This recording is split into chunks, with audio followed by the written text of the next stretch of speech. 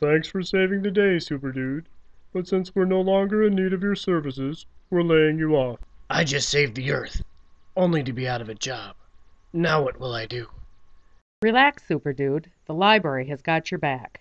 Your local library is jam packed with epic level career resources at your disposal, totally for free. Show me how this could be.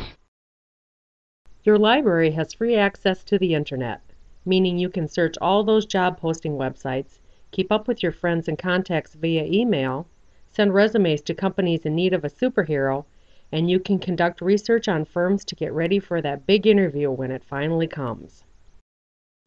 This library is chock full of knowledge ready to be uploaded to my brain. Within the stacks of books, I may find a veritable fortress of solitude for study. With your local library's help, you can get back to being that superhero you were meant to be in no time.